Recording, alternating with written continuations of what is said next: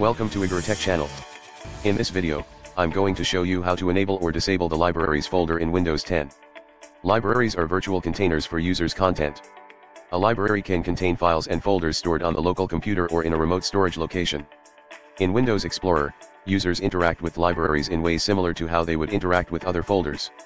By default, libraries are not displayed in later versions of Windows 10, so they'll need to be reactivated for them to appear, and the process is remarkably simple. To enable or disable the libraries folder, follow these steps. Start by pressing the Windows key and R, then enter Control Folders.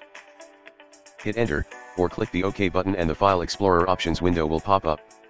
The options available in here can drastically alter the way Windows Explorer works, so be careful what you enable or disable.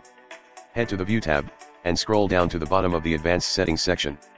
At the bottom of the Advanced Settings section, you'll notice a box labeled Show Libraries. Click the box to tick, and re-enable the option. When you've done that, click the Apply button to activate the change and you'll see that the libraries are now available via File Explorer. You can now close the File Explorer options pop-up window. The libraries are by default, set up as area-specific shortcuts. You can right-click each library entry, select properties from the menu, and create new library locations, change the icon and much more.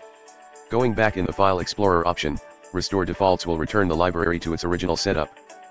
This covers how to enable or disable the libraries folder. If you have a question to ask, leave it in the comments below and I'll do my best to answer it. Thank you very much for watching and have a great day.